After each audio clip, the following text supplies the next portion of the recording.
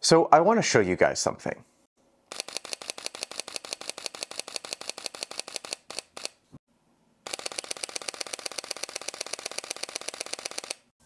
Now, what you just heard was the sound of about six to eight frames per second in uncompressed full RAW file versus compressed RAW at about 10 to 12 frames per second. Now, I have always been curious if there's actually a difference in file quality when you're editing in post and things like that between compressed versus uncompressed RAW. So I went out, I conducted a few tests so that you guys don't have to, and the results were actually kind of surprising. So make sure you stay tuned until the end of the video for those results. Now let's get into it.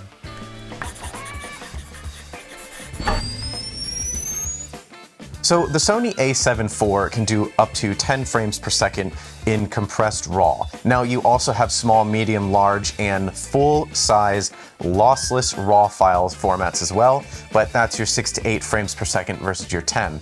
Now as someone who shoots a lot of fast-moving subjects, having those few extra frames could mean the difference between getting the shot and not getting it. So I took a few pictures of the same exact thing with the, all the different raw file sizes that we have here in the studio to see if you could actually tell the difference between the quality between all the different raw files. So all of these photos that I have right here are taken with the same exact settings on the Sony 24 to 105 f4 lens, and they aren't edited at all. What's interesting about the file sizes is that the compressed raw file is bigger than the small and medium lossless files. I really wasn't expecting that. So that means we should have more room to play with our colors and clarity, etc. when we're editing. So besides doing the stuff in the studio, I wanted to come out and do an actual real world test and test out compressed versus uncompressed raw photos because we have 10 frames per second in uncompressed and about 6 to 8 in compressed and those two extra frames could be the difference between getting the shot and not getting the shot.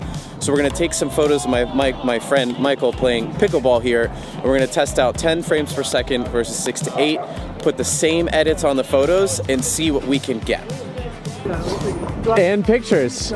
He's he's already famous. He's in a pickleball magazine. Yeah. Like a photo I took of him. Yeah. Right. He's on an app.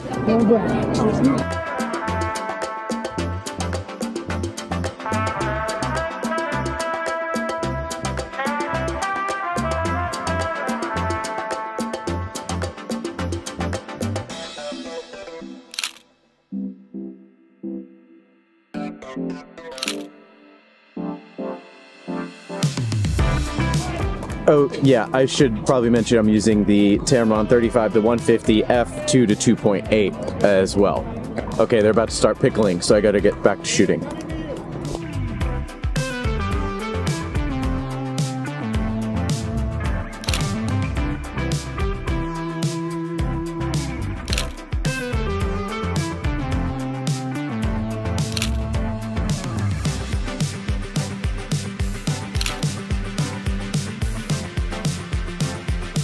All right, so that's pretty much all the shooting we have. I think I'm gonna be shooting in compressed RAW a little bit more often than I usually do, just because having those more frames per second helps me get some of those money shots that you just can't get.